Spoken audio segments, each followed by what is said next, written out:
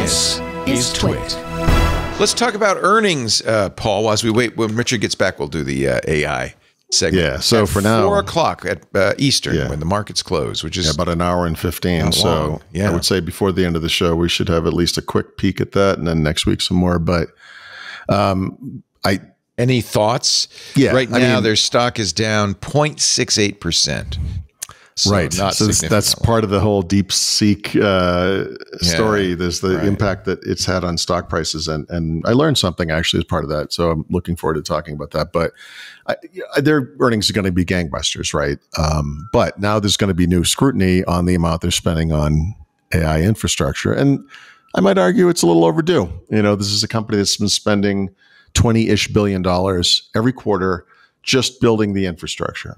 Um, which is, you know, again, a big part of that uh, coming conversation about DeepSeek. But I well, think, what, when we get to this, I'll, I'll mention this, but uh, there there is something to be. I think there is, you know, certainly Nvidia is, is tumbling because of yeah, But I think there's something to be said for the fact that this is good news because uh, less expensive AI means more AI in more places, and in all likelihood, uh, more use, uh, which means it's actually. I mean, if well, I'm not. I don't. I'm not allowed to. I don't allow myself to invest in uh, tech yeah, stocks. yeah, yeah. But I, and I'm not giving anybody advice, Mm-hmm. but if I were, I think this would be time to buy, buy, buy, not sell, sell, sell. I think this is short sighted on the markets. Uh, Well, I, it's it's the early days. Um, I, I uh, this is part of the whole conversation. You know, Steven Sinofsky had a really interesting thing on Twitter X or whatever about how this is how disruption happens. This was always going to happen. I, no one thought it was going to be the Chinese per se, but um, the whole business model of big tech is spend an incredible amount of money that no other companies can spend to build out an infrastructure that no other companies could build out to maintain your dominance and continue into this new market. And uh, to my simple kind of ape brain, what that is saying is when you're a hammer, everything's a nail, right? And so no one at Microsoft was like, hey, how could we do this a lot cheaper? you know, I mean, they they were like, this is their competitive advantage. They were going full bore. Um, so maybe this causes a little bit of a reset. Um, but it always, not always, but uh, many times, usually um, takes a company from outside of that industry to disrupt it. You know, Yeah. Apple with the iPhone, uh, Yeah. Netscape, not whatever. but- necessarily a bad thing, is all I'm saying. You, well, Yeah. you, obviously he's going to, uh, Satya and uh, the CFO will be asked about this in the analyst Mm-hmm. call. Do you think they'll be cagey or, or candid? Well, I, yeah, that's a good question. So, I, um, again, I, we're, we're going to talk through half of the steep sleek thing now because it's hard not to. But um, let me let me just tell you the part of the story I didn't. On, uh, the thing I learned in this because I cover all these earnings, but I'm not like a stock or money guy. Like I don't really understand these things. And um, I, it was interesting to me, like the more on Monday morning, all the big story was like how at the end of uh, business on Friday, all, all the big tech AI companies, like the stock had all nosedived.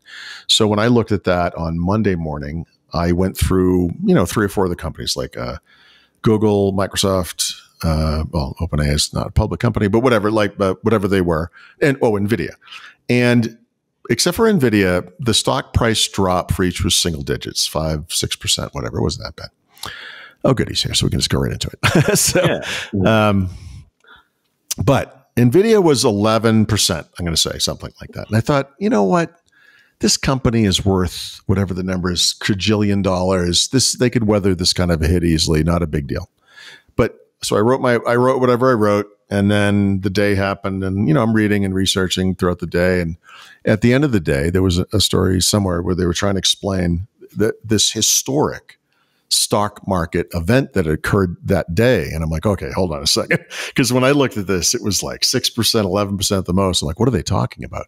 So the history that was made Monday was that NVIDIA, which has it, at the time was one of the top three companies by market cap, right? Uh, their stock price dropped by, let's say it was 11%, because it, it is when I looked at it, but whatever it was for the day, it was 11%. Because of the overall value of their stock, it was the single biggest drop in value in a single stock in one day in the history of money. That it's never been that. In fact, by an order, well, not an order, by a factor of two. The the second biggest drop by total value is less than half of what Nvidia lost that day. But so that's more actually, to do with the value of Nvidia that it yeah, does the significance. That's right. Yep. Of the drop. So um, we haven't really talked about DeepSeek yet, Richard, but I, we were kind of talk, walking into it sideways. But the uh, uh, but the which is, se- by the way, the best way to walk into yeah, definitely um, hopefully with a blindfold on. Um, so yeah, like Satya Nadella, Sam Altman, and uh, Nvidia all released statements of some sort or talked about this to some degree, and and all of them were in their own way telling. But the Nvidia one, which I thought was very interesting, was they basically came out and said, "Look, we just want to remind everybody that uh, all of these reasoning uh, services, these LLMs require NVIDIA GPUs, and uh, these guys used NVIDIA GPUs. Yes, they were prior gen, whatever stuff they could get from before the, the H100s, which are S, yeah. which are allowed in the uh, in China yep. Uh, uh, around the chip block. But they did something very clever with them. Yes, and uh, they wrote, in fact, their own low level code to allow mm-hmm. the inter process architecture yeah, so, to be speedy. So they're very smart. They just were smart. But you know, there's something in well, driven by necessity, right? And yeah. that's how this stuff happens. It's that's what's great. It's I love it. Park. Life will find a way. Like yeah. when when you are met with restrictions, whether they're artificial, like um, the export restrictions we have in the United States are just natural, whatever it is, or, or the syllabic company. count of a haiku or a sonnet. Yeah, it makes me more creative. That's right. No, but it does, right? It does. That's where the innovation is yeah. going to come from. It's not going to yeah. come from a company that's protecting its business model, right? This is why Google didn't release some of this stuff years ago, even though they could have, because they looked at the impact it would have on search. Yeah. And they're like, we can't do that, even it's though it would good. have been kind of a. I also wonder, nice. you know, they're master espionage folks too. Mm-hmm. So what well, don't what, we know? Yeah, wait, and this is really important to point out: is mm-hmm. y- you can't just take this the, the no, you, and in fact, you DeepSeek's ass, assertions as on face value. Oh, it only costs us six million dollars. Yeah, I think that's sorry, just six billion. Uh, well, okay, but true, in, in, a obviously. in a Robin Hood sense, I, I don't. Rem- maybe one of you guys will remember this. Uh, this is a month or two ago, and it's it's a little overly simplistic, but someone somewhere had said, "Here's an idea. These oh, these AI companies are all stealing content from everyone. If you can prove that they've stolen content to feed their engines, and now they're making billions and billions of dollars on this." Let's just open source them. You know, let's put that back in the public domain and have it benefit everyone. And there's a a naive kind of uh, part of me that's like, yeah, that actually sounds like a pretty good idea. Um, and so, did the Chinese just do this? Maybe, you know, yeah. maybe, but we certainly don't I mean, know the truth. No. So I, I think we, we also need to be clear about mm-hmm. definitions because it's really open source, which is a phrase Meta started using, is not an accurate uh, description of this. In fact, and, uh, okay. the open source initiative says it's not open source. That means you could look at the source code. The training, there's right. two ways you can you can be more open about what you're doing. What what did you train on? Mm-hmm. Uh, which no nobody at this point but, is admitting. Okay, but neither is OpenAI. No, so, very much I mean, not. In fact, so they were I'm, started I'm, with the notion that they were, and they quickly decided, no, we're not mm-hmm. going to tell anybody how we did this. And then there's the second part of it, the tuning, uh, which uh, the weights. And that is really what it should be open weight, not open source, I think. Open okay. weight means you're saying, here's what our weights are. And mm-hmm. DeepSeek mm-hmm. is open weights, Meta is open weights, right. OpenAI is not open weights. Okay. Um, there's, you know, Microsoft complained, as did OpenAI, oh, that it's really? pretty clear. As I said to Brad this morning, let me get this straight. You, you stole a TV, got home, and someone stole it from you. Yes. And then you went to the cops and said, You will not believe the injustice here. They used a process that's pretty clear called distillation, where yeah. you train your AI by interacting with somebody else's AI, asking it questions, looking at the answers, and you could do that at a very rapid pace with AIs, obviously much more rapid than you could. Which is what how the original GPTs were made anywhere, where they still right. had people reviewing the answers exactly. and ranking them to build up a better training. It's perfectly fine. That's what is normally done with an AI is, and that's the tuning.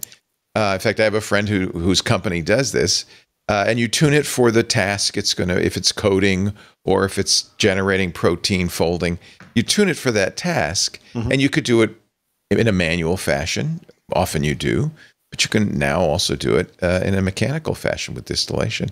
I think this is it's fair game as far as I think I'm it's, concerned. It's fascinating. Yeah. Um, but and, you know, we, but this is what you want, know. which is everybody learning from everybody else, getting better and better.